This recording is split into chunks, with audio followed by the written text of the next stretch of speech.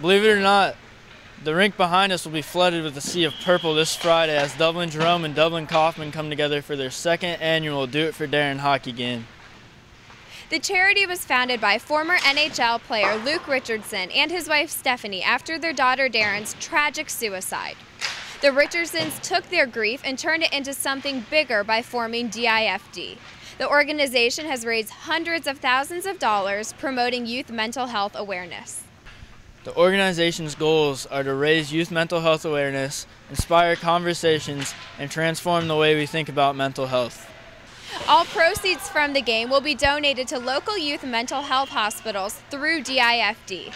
But this is more than just a game.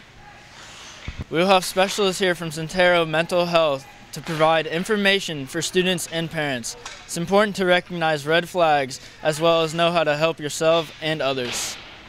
I was lucky enough to know Daron, and I know how vital it is that we feel comfortable talking about this important issue. On behalf of DCTV and Coffman Hockey, we look forward to seeing you at the rink on Friday.